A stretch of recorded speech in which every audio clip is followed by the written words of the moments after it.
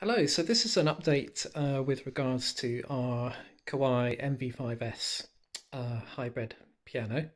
Um, if you followed the last video, you'll know that we had some issues, uh, specifically with regards to the pedals and felt coming away from the pedals, but also um, a bit of trouble with the pedal squeaking and um, the action of the piano as well being quite slow. Um, we had a Kawai technician visit on Monday, and he spent a good couple of hours with us. He's worked on the pedals, so basically he's glued the felt back again, but this time you can see on the sustain pedal he's used a lot more glue, but also uh, he clamped down the felt for half an hour to allow time for the glue to, to dry and for the felt to adhere hopefully better than it had previously. So you'll see there's a little bit of a difference uh, on the right hand pedal. Uh, when I press the pedal now, there's basically no noise.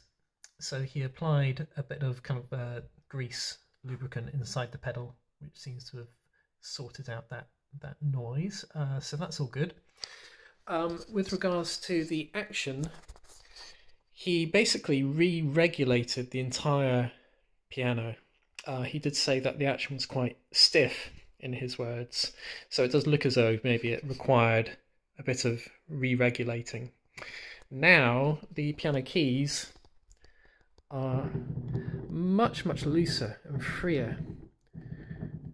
So there's no stickiness. And my son has noted that as well. He said there's been no what he calls sticky notes. So that, for us, so far, is a really big improvement. Um, with regards to the pedal, initially when we had that glued back on, it was about six weeks until the pedal felt started to come loose and, and gradually disappear inside the piano frame. So I think that's something we're going to keep an eye on over the coming weeks to see if it happens again or whether it's now permanently resolved. Um, also, with regards to that, he said that he'd mentioned it to the factory in Indonesia.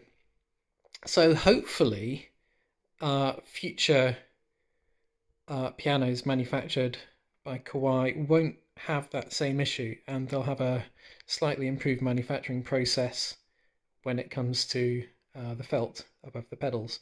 So that's what they told us, and I'm hoping that's true because if it solves the problem for others, that would be uh, that would be fantastic.